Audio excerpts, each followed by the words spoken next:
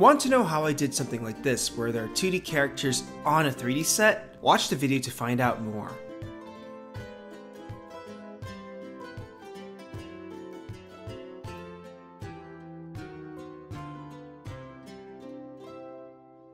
Hey guys, it's Toniko Pantoja, and today I'd like to talk about how I did a test of 2D characters composed right into a 3D set. First of all, no, this isn't a thing where the background is pre-rendered and then I do the characters on top of that 3D footage. These are actual image planes placed into the 3D environment, casting shadows, reacting to lighting, and having shader and material presets that make 2D animation feel more than just a drawing. One of the things I'm known for and why a lot of people did follow me on social media was because of these casual dancing dog animations I did where I placed them and motion tracked them with live action footage, an effect you'd kind of see in a movie like Space Jam. Every time I did a new dancing dog loop, I would do it with new live action footage, but this time I wanted to use a project where I could learn and implement some new media experimentations. Instead of using live action footage, why not use 3D scans? I had an iPhone 6 for years. It was almost just a year ago that I upgraded to a 12 Pro. Did you know that the iPhone 12 Pro has a LiDAR camera or scanner? This is what allows it to do 3D scans and I guess some advanced facial motion capture. I got this idea from the channel Corridor Crew, one of my favorite YouTube channels out there. I highly recommend you guys to follow them if you're interested in experimentation, VFX, animation, AI, stunts, film. It's a really entertaining, fun channel or it's just a bunch of guys just experimenting and making stuff. Something that I just want to do. So I visited a park during the day and using my iPhone, I used an app called Scaniverse. And this is what allows me to scan my overall environment and turn it into a 3D model. The way it works is like you're recording a normal footage, but you're gliding your camera over the surfaces of what you're scanning or you're recording. And what you'll notice is that it's slowly starting to create a 3D mesh with the actual texture and it'll start filling in empty spaces for that mesh. And then once you're done, you can save it as a low res or a high res model using low res or high res textures. Then once that's done and once you're ready, you can then export that into a file format to your liking.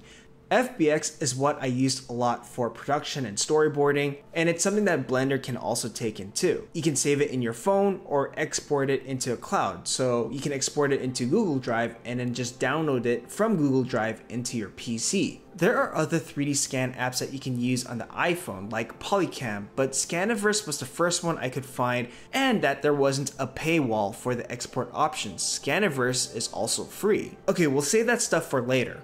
Now I'm going to talk about the 2D animation side, which I use TV Paint, and it's also what I used to do the previous Dancing Dog loops. I just watched a bunch of shuffle dance videos, looked at them frame by frame, and heavily referenced them for my new Dancing Dog loop. Then I exported it into an image sequence. I usually use alpha channel PNG with no background, just a character animation with color and cleanup. I personally like to have animated image sequences in its own folder with nothing else in there. Now, I know a bunch of you guys will be asking, why TV Paint and not Grease Pencil? If I'm going to use Blender, why not use Grease Pencil? The simple reason is that I'm much faster on other 2D animation programs besides Grease Pencil, and I know I'll get a lot of comments saying why not use Grease Pencil, or why I'm not taking advantage of it, and I get it. Grease Pencil is nice, it's free, and it can be powerful. It's free like Blender. Personally, I'm just not a fan of Grease Pencil, of how it feels and I'm not someone who draws strokes using the z-axis. I don't draw things coming in and out of depth. I tend to keep things in 2D. And also, I like the feel of other 2D animation programs besides Grease Pencil. Also, there are some great advantages when importing your animation as an image sequence, such as being able to utilize 3D shaders on your 2D animation, an example of this would be things like bump mapping or normal maps or specular maps or even material mapping where you assign color codes to apply a different type of material to code it with the color of your animation. With Grease Pencil by default on its own, you can't really do that unless you export it into an image sequence and then import it back into an image texture. Since Grease Pencil has its own unique shaders, but that's only if you want to go extra with the image textures and shaders. You could still fully animate and color a character in Grease Pencil, and this effect will work just as fine. At this point, it's really just a matter of preference. The reason why I choose to use TV Paint is because it has some great functionality for 2D animation. TV Paint 11, for example, has a great feature called CTG Layers and Coloring, which has changed my approach to coloring in TV Paint. What it is, is that it uses a source, for this case the line art of my animation. Then you can indicate strokes to tell the program where to fill the colors and you can even color code palettes and it does a lot of like AI and calculations so you don't need to do things like gap closer or range or anything like that manually. It just calculates it. There's tutorials of this on YouTube if you're interested in that. Now it's time for me to put everything together using Blender. Just letting you guys know this isn't a step-by-step -step tutorial, it's just me talking about the process. So now we can start importing our 3D scans. Once you download your 3D scans, and it'll be an FBX file, so you can import them as an FBX and it'll import it as a mesh with its own textures too. Now this part is super cool. You can arrange your 3D scans, duplicate them, rotate them, scale them. If you're really ambitious, you can apply material shaders onto it, but I like to keep things simple. I'm only using three different scans, a hallway, an outside of the building, and a pond, but I'm duplicating, multiplying, and arranging them to make a completely new environment. Something like this can be really awesome for setting a storyboard or layout scene, or maybe even prototype level design for video games. Now the reason I say that is because the scans themselves are very chunky and blotchy. They're not polished models, but personally I find this stuff pretty appealing. Okay, now it's time to add our 2D animation onto the scene. You're going to want to have the Blender add-on switch on called Import and Export Image as Planes. You can find this in the add-ons menu, just make sure it's switched on. This is what allows you to add image planes as an object. You'll notice a new option pop up when you add an object, there's a thing called Add the Image as Planes. Find the folder you exported your animation and import it as an animated image sequence. So for this case, I totally forgot to do that, but no worries, that can be fixed when you open the shaders window. You know, find the node with your texture and fix some parameters.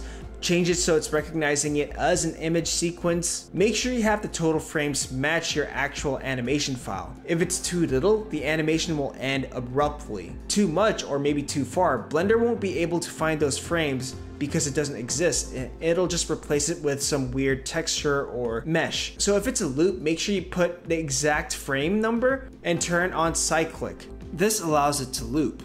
Alright, so when you switch your viewport shading options to something that's close to the render, now it's going to implement lighting. Now, there's a few things that you're going to notice. The character animation looks a bit too dark, and the jarring thing is that the shadows don't match with the actual animation, it just matches with the plane or the animation itself isn't transparent and actually renders a black background as a replacement, and there's ways to fix that. On the material settings window, you're going to want to switch the shadow mode and the blend mode to alpha clip, so now it has no background and the shadows actually match the transparent properties of the original image texture and animation. And if you feel that the animation is too dark, if you go to your node window, you can actually drag the point of the color of the texture towards the emission and then use the emission strength values to crank it up or crank it down. If it's too much, it'll glow and it won't really react to things like shadows.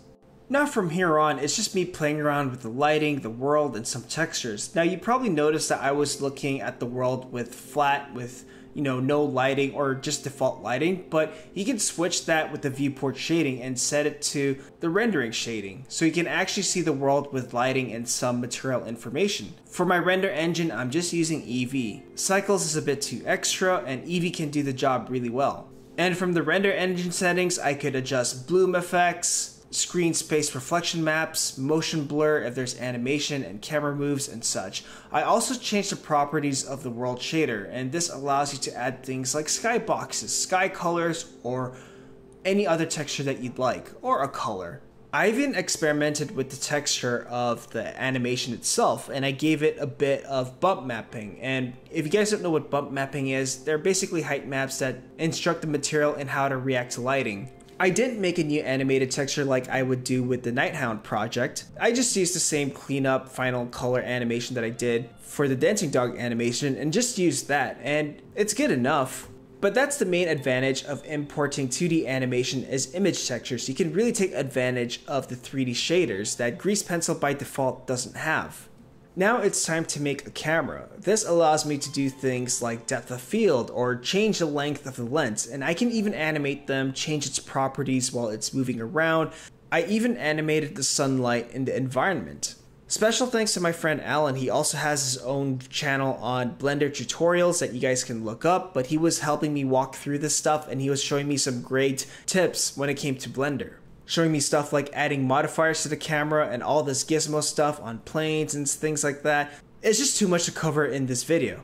Now, I experimented a lot with different shots, basically just duplicating my dog characters, putting them in another place in the environment, and I animated that texture maybe running down the corridor. I have multiple cameras for different shots, and they're all happening at the same time. I just selected a different camera when I rendered the output for it. There were a few cool tips that I learned from Allan regarding cameras. So let's talk about depth of field. You can actually set the depth of field so it focuses only on the character, so everything behind the character and in front of the character will be blurred out. Or instead of setting the depth of field properties to the character, you can set it to an object known as an empty. And if you guys don't know what a null object is, I talk about it in After Effects. It's something that won't appear in the final render, but it's great if you want to parent characters on top of the null object. So when you move the null object, you're moving the character too without affecting the character. It works the same way in Blender. So I can use this empty object to determine the depth of field, which is highly useful for things like rack focus. And that's just it. There's a lot of possibilities that are quite endless. Like I was being shown on how to do a quick water effect using a few shaders that create that cheap water illusion. And honestly, I found something small, like a character's reflection being shown on the water while the character is 2D animated, mind blowing to me, while reflecting the rest of the environment. And this is the type of automation that I like to see when it comes to marrying 2D animation and 3D graphics. I experimented with a lot of random stuff. Maybe another world was falling into the scene while the camera kept rack focusing back and forth from the background falling into the scene with our dancing character.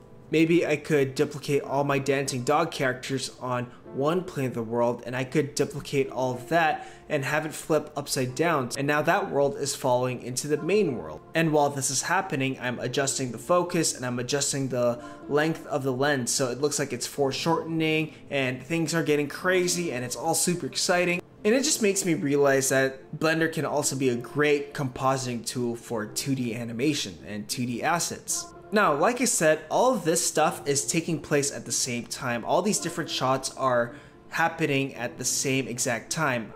I just happen to have multiple cameras for each of these shots, but when I render them, I'm basically rendering each camera one by one. Now for the render engine, like I said before, I use Eevee because I still think it looks great and I don't need anything more than that. But if you really want to bust your computer's nut, you can try and use Cycles, which is basically ray tracing at that point. And if your computer is not strong enough, it'll take forever to render. You can render them as image sequences, but for something like this that's pretty small and nothing too serious, I just render them as videos. You can even change the directory output, the format, the size, the quality, and the video codec. You can even automatically do this by pressing Shift and F12 or by clicking on render animation under the render tab. But before you hit that render button, make sure you have the camera selected that you want to render. As for the final color adjustment and compositing and adding things like noise, vignettes, or posterizing effects, I just use After Effects. Adjust the color curves, the color settings, the, the color strength, and apply other post effects. So that's about it. I had a lot of fun doing this and I'm glad I recorded and documented myself doing this since since there was a lot of things and tips and tricks that my friend showed me and things that I was experimenting with that I might soon forget. That's why you should record and document every project that you do. If you guys were inspired to do something like this because of this video, give me a shout out when you do share your experimentations and I'd love to see them and share them on social media. If you guys want to see a step-by-step -step tutorial of this, let me know in the comments down below. Anyways, thanks so much for watching this, bye. Interested in learning hand-drawn animation or learning how to finish an animated shot from beginning to end? Have a look at the store where you'll find the complete Introduction to 2D Animation video course, tutorials, and other resources. Learn classical animation approaches, drawing, lectures, techniques, and other process videos. Visit the store through the link in the description below.